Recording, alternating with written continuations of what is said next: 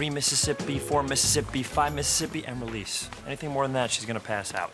God, good tip. That's great. Good to know, man. Thank you. What? You just see that? Mm, No, no, no, no, no. Is this that thing where you make me turn around and look at a guy's ass and then you call me gay? I ask you to do that. You do that on your own accord. Well, your opinion. there it is, that girl in the front. She's checking me out. Which one? The one like two behind the guy with the really tight jeans? Melanie, Scott? Melanie, don't do this.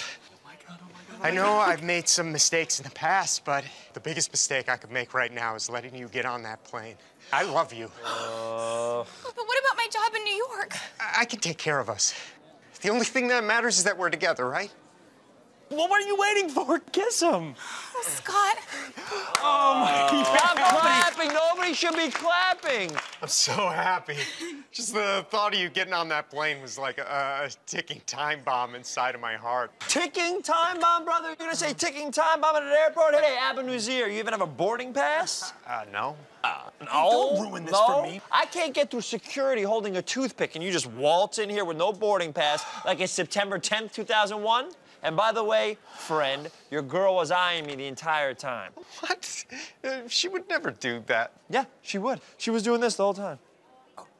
Would you cut it out? What the hell is wrong with you? This is a beautiful thing, a special romantic moment, and you're shitting all over it. I mean, do you know how brave this woman is to walk away from work in this economy? Well, I mean, I don't know a single person who would walk away from a job when the unemployment rate is up to 8%. But this woman says, I don't care. I don't care about money. I don't care about security. And I don't care if I have to sleep in a bus shelter. I didn't say that. What matters is love. That conquers all. It's not something you'd understand, and who cares about all of that? You probably got a college degree, right? You can fall back on that. No. No, No. she doesn't. She doesn't. No. Well, what's the rush? You're in your 20s, I'm betting. Early 30s. Sagittarius, probably. Yeah. Who cares about that? This guy, he's the, the breadwinner, huh? You could probably provide for both of you. Yeah. Are you crazy? Look at him. He looks like he just came out of a thrift store. I'll bet you a hundred bucks this guy is either a fucking part-time DJ or a full-time barista. Uh, it's barista. Oh, it's barista. It's barista. Hit him, Doug. Oh, God. Uh, Melanie, is it? Okay, uh, here's the bottom line.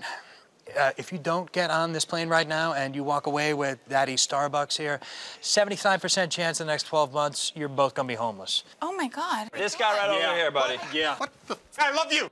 I'm so sorry. Get him. He said Abu Nazir. I'll Skype you. Oh, jeez. Oh my goodness, look at me. You're trembling. Are you okay? Yeah, I think so. Oh my God. Melanie, right? yeah. Listen, when we land in New York, what do you say? Would I take you over to a noodle shop on the west side? Yeah, I like that. Would you like that? Yeah.